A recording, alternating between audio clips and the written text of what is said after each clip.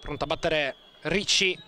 il suo mancino in area, palla che rimbalza Cannavaro, Reina con un grande intervento, palla messa dietro per Mazzitelli, Mazzitelli, il Sassuolo passa in vantaggio, segna Luca Mazzitelli con il suo primo gol in questo campionato, il grande intervento di Reina su Paolo Cannavaro ad impedire il gol dell'ex, ma poi il sinistro di Luca Mazzitelli per il 2-1 dei Neroverti